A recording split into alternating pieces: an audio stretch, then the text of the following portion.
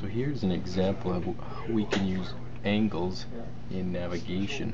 What you see in the top left hand corner is called a compass rose. Now compass roses uh, were originally created to navigate at sea but uh, they are very useful now in navigating uh, any land area. A compass rose includes the four cardinal directions.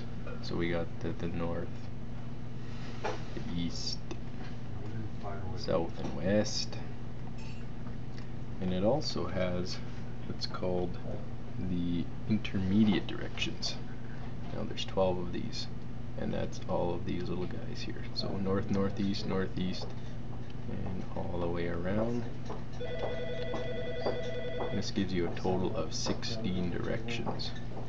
Now, what's cool about the compass rose is it is essentially a circle and we know that a circle is 360 degrees. So you can use a compass rose to estimate the angle of, uh, of a destination on your map.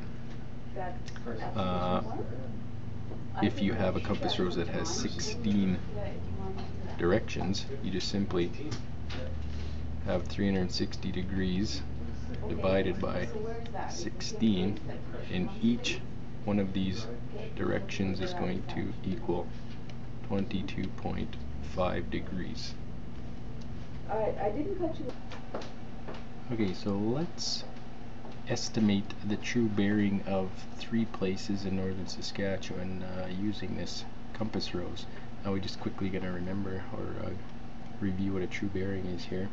And uh, if you just read, it says true bearing is the angle measured clockwise between true north and in, an intended direction expressed in degrees. So what that means is our angle from north to our intended destination, which is the first one will be Stanley Mission here, uh, the angle that it takes is called, so this angle here is going to be called our true bearing.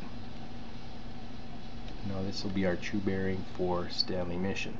So if we look at our compass rose and the angle from La Ronge to Stanley Mission looks fairly similar to uh, probably northeast.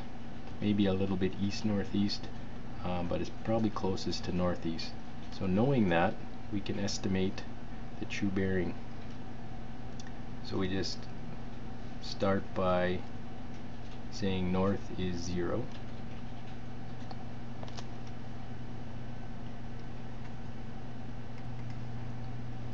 right. So north. Is zero degrees. Now if we go down the compass rose and if each direction is 22.5 degrees is which we figured out calculated before we can just say well north northeast will equal 22.5 because it's the first one.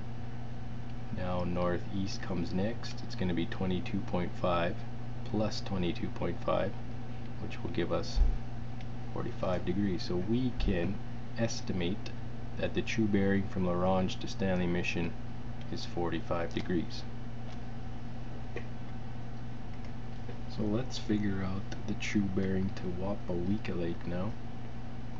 And we want to do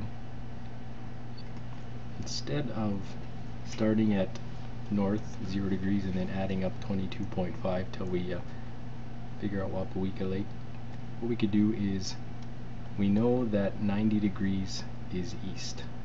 So we can start at 90 to make it a little bit simpler. So we know that east directly east is 90 degrees. Now we just simply keep adding 22.5 degrees until we find our correct or our closest direction.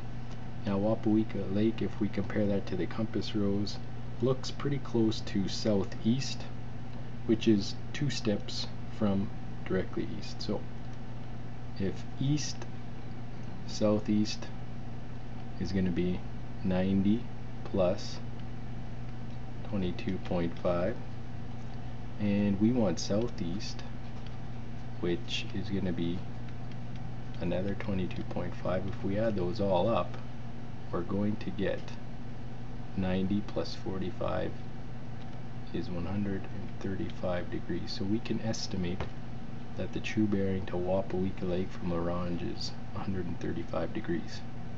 Alright, let's do one more. We're going to look at Egg Lake now.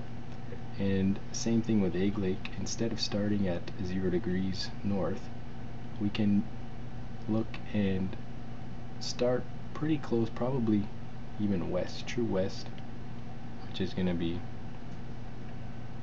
270 degrees.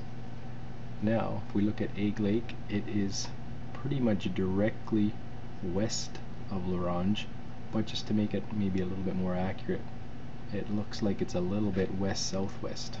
So, if it's west west southwest of La Ronge, that is one direction underneath west, so that means we have to subtract 22.5 degrees. And that's going to leave us with 247.5 degrees. So we can estimate that Egg Lake from La Ronge has a true bearing of 247.5 degrees. So that is one way that we can estimate true bearing angles uh, in navigation using a compass rose